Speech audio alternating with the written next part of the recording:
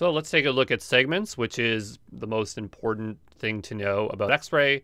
Uh, and so if you have a bunch of compute resources that are running your application logic, you're going to want to send data about that to um, X-Ray, uh, and we call that sending work.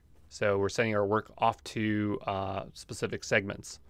So here is an actual segment uh, that we could drill down into, and there's a lot of different information here.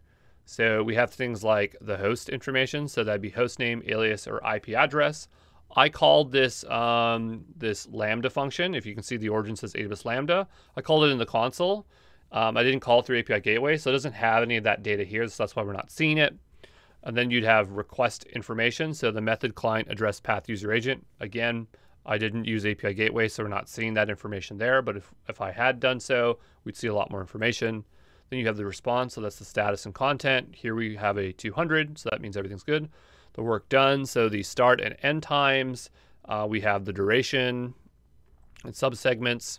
And then the last thing would be uh, issues that occurred. So errors, faults, and exceptions. And we have a dedicated tab there for that. So uh, that's what it looks like to drill down into a segment.